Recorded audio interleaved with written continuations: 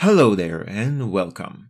In the previous episode we added a few things to our pistol model, some animations, a muzzle effect, and a shooting sound. In this episode we're going to create the loading for the weapon, because right now we can just shoot endlessly, but we do want to make our game more realistic, so we're going to start by going into the weapon script, and we're going to add a few more properties over here.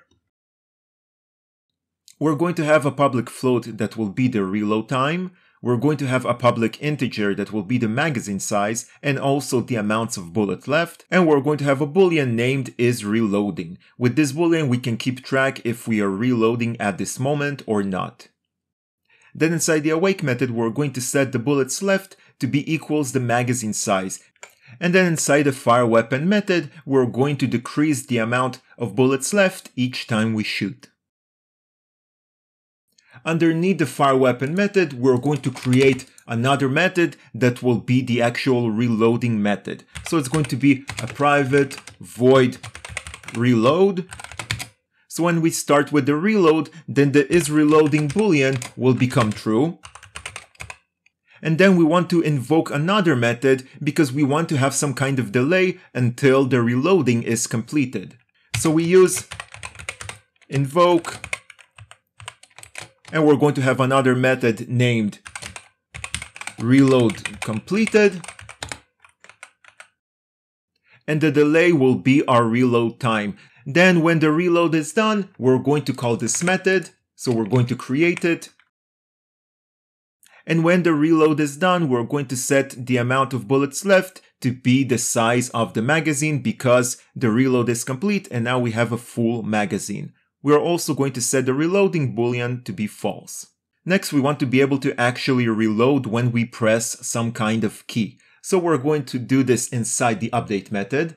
After this first block of code, so if we press the R key and also if the bullets left is smaller than the magazine size because if we have a full magazine we don't want to be able to reload and also if we are not reloading at this moment then we're going to call the reload method. Now this will allow us to reload whenever we want when we press the R key. If you also want to add an automatic reload when the magazine is empty, then you can add this. Now I'm using these two equal signs and then false, but of course you can also remove all of this and just use this and it will be the exact same thing. But this way it's just more obvious and for some people it's just easier to read the code this way. It's also very easy to miss this small character, so it really depends on you. I'm still going to use this thing. At this point everything should work, but we also want to create some kind of UI to keep track of the amount of bullets that we have left. At the top of the script, we're going to have a reference to a TextMesh Pro text. And of course, we also need to use this package. So using TM Pro. And then at the bottom of the update method, we want to update the UI according to the amount of bullets that we have.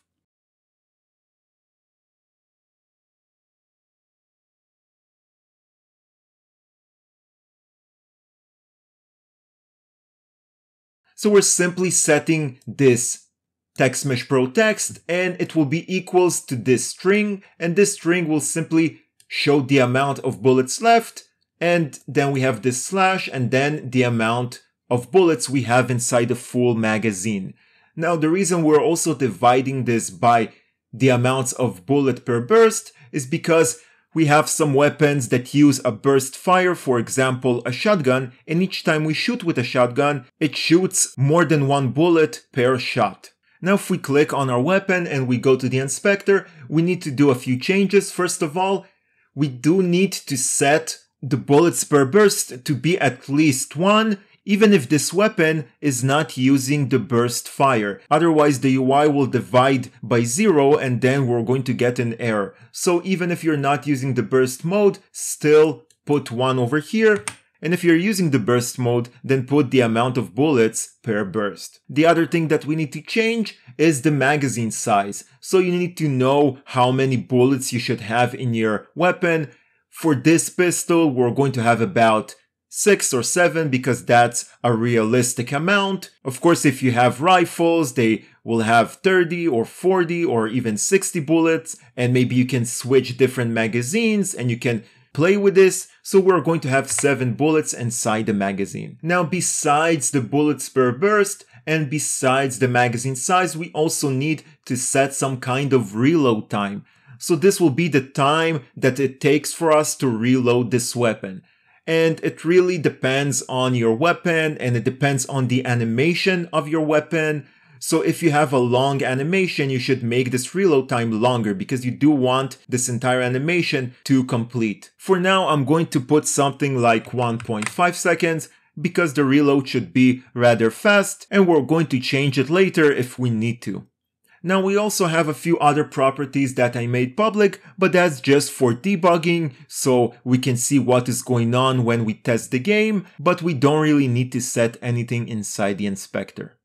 Another small change that I want to do is decrease the shooting delay to be 0.3 because I tested this out and 0.5 seems like too much. But again, you can play with this and put whatever you want. Next, we want to create the actual UI. So I'm going to click over here and add a canvas. And then inside the canvas, we're going to create a UI Text Mesh Pro. Then we're going to click on the canvas and we're going to change this to scale with screen size.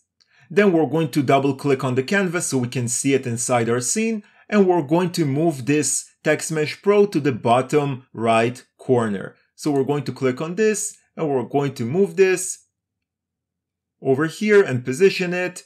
Then we will click on this window and also anchor it to the corner. Next, we're going to make it look better. So we're going to center it. And as a placeholder, we're going to set 0 slash 0. Maybe make it bold. And now this is the way it's going to look inside our game. Maybe we can play with this a bit more.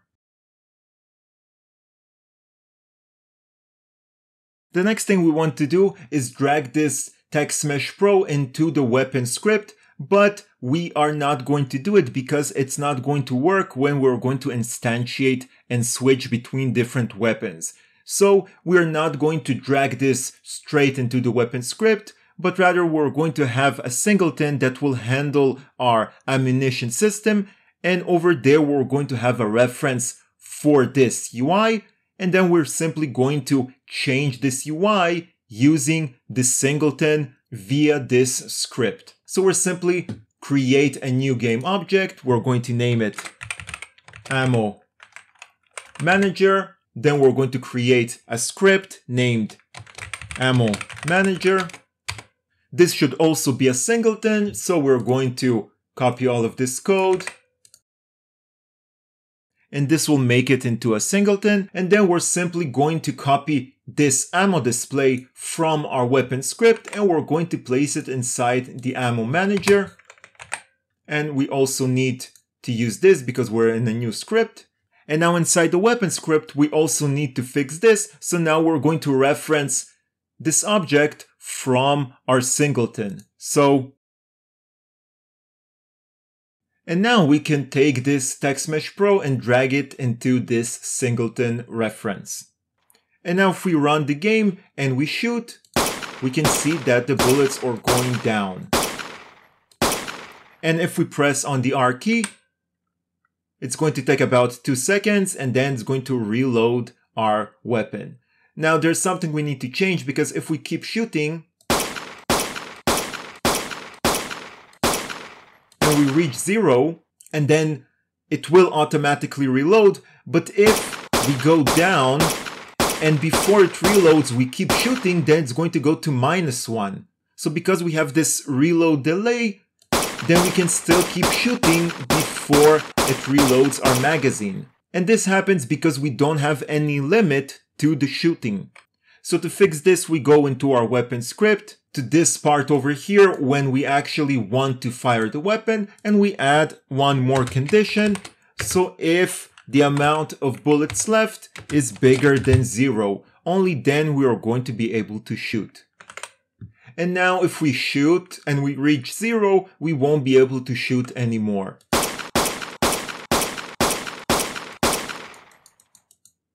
And of course, it will automatically reload our weapon. And that's something we can enable or disable. For now, we're going to have this automatic reload, but maybe in the future, we're going to just allow the player to decide for himself.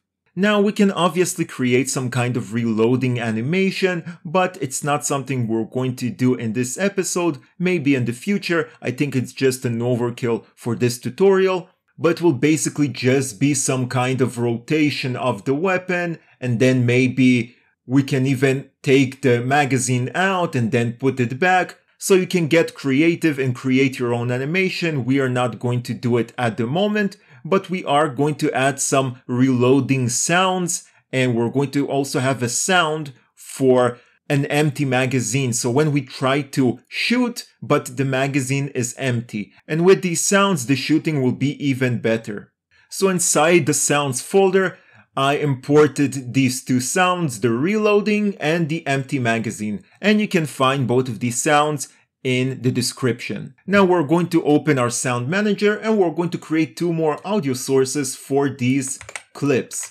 Now, of course, it's not the ideal way to do it, but because we don't have a lot of sounds, we're still going to create an audio source for each new sound. So this will be reloading sound, and this will be empty magazine.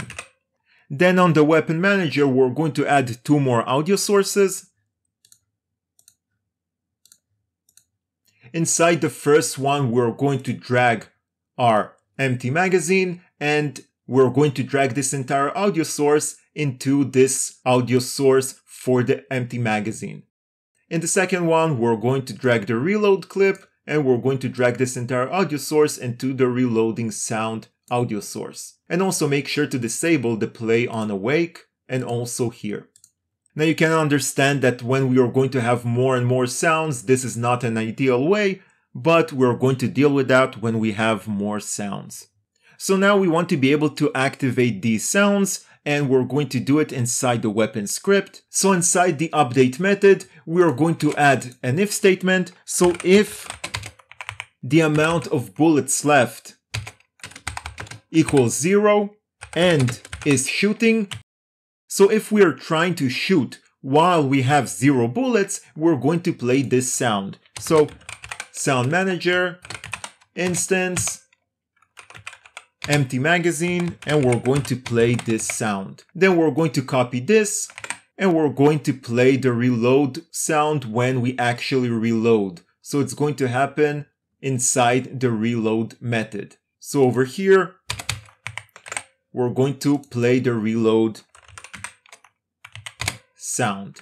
Now the reason that I made the reload time 1.5 seconds is because we don't have an animation but we do have this sound.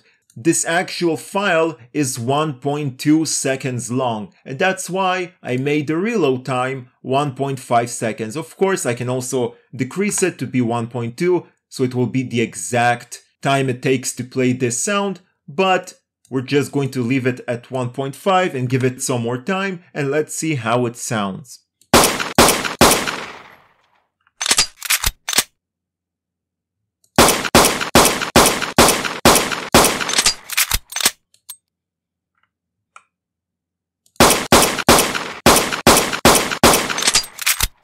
Now it's hard to hear the empty magazine sound because when we reach zero, it automatically starts reloading so it will be hard to hear it. But if we're going to disable the automatic reloading, we're going to be able to hear the empty magazine sound. So let's disable this automatic reloading for now. And if we shoot and reach zero bullets,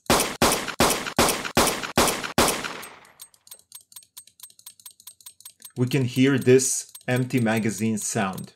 So that's all for this episode. In the future, we're also going to have an option to have more bullets because right now we can endlessly reload our weapon and that's not realistic. We do want to have some kind of limit to our overall amount of ammunition. So we're going to be able to pick up ammunition from the floor and then we're going to have some kind of ammunition reserve. And each time we reload our weapon, it's going to take some bullets from this reserve. And then when the reserve is done, we're not going to be able to reload at all. So it's something we're going to create in a few more episodes. So thank you for watching. Please subscribe if you're still not subscribed. A lot of you are watching these tutorials and I'm very happy, but most of you are not even subscribed. So I will really appreciate if you subscribe and if you leave a like and see you next time.